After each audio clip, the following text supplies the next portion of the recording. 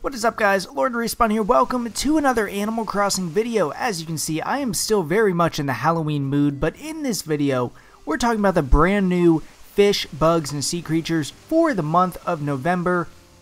But I just couldn't take off my Jack costume. I mean, how could you? It's too early. It's the beginning of November. We're going to rock this for a little while. Um, but let's jump into the new fish, bugs, and sea creatures for this month. Uh, we'll start off with bugs. There are three new bugs that you can catch in the Northern Hemisphere, and those would be the damselfly, as you can see here. Brand new bug going to come back, uh, going to be here through February. Catch it all day long, pretty easy, pretty common. They're, they're basically all over. Uh, the next one is going to be the mole cricket. As you can see, it went away in May and is now back.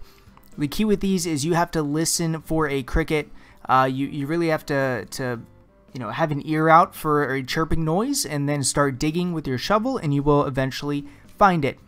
And then the last one, and some of you guys might not like this, but the tarantula is back. Scorpion left, tarantula's back. It is what it is. Stay frosty. And let's go over to fish. Fish are, fish are fun. Fish friends, right? So first off, we got the bitterling. Uh, it, it was available right when the game came out. Hopefully everybody caught it, but if not, you have from now until March to catch this uh, river fish. Next up, we have the blowfish. Now, this is the first time, if you haven't time traveled, that you can catch the blowfish since the game came out. As you can see, November through February, medium size, uh, pretty easy. I've caught a ton of them already, but a really cool fish and a must have for your museum. Next up, we have two uh, pier fish, and those are going to be the tuna. As you can see now until April, make sure you just get your fishing bait and, and hope. The tuna is a little bit more rare uh, than the next fish, which is the blue marlin. But the blue marlin has been in and out since the game released in March, so most people probably have a blue marlin. If not, make sure you catch one of those on the pier. And lastly, we have the football fish. Again, this was only here for a very short time in March in the Northern Hemisphere, and now it is back from November right now until March. Uh, medium size, medium to large size, probably more like sea bass size. Uh, I think it's like 2,500 bells. Not a bad fish to, to catch and you know sell and all of that. So keep an eye out for one of those. Last up, we have the sea creatures. First up, sea cucumber.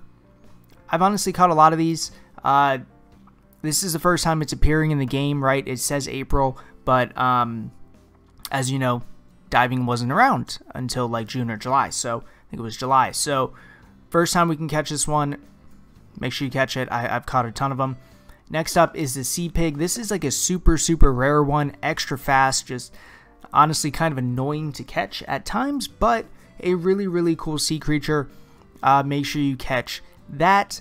Then we have three different crabs that are brand new. We got the Dungeness crab. This one is fairly common. Uh, I would say the most common of the new crab that have been added, but all day long, November through May, so you'll be able to pick one of these guys up. Next up, we have the snow crab, a little bit more difficult, again, all day long, uh, but this is going to be like very, very fast and a large shadow size, so good luck catching one of these.